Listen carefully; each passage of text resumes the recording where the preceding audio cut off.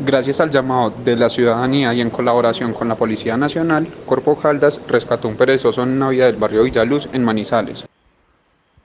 El ejemplar fue trasladado hasta la sala de atención de emergencias de la corporación para ser valorado por profesionales. Luego de la revisión, el animal volvió a su hábitat natural.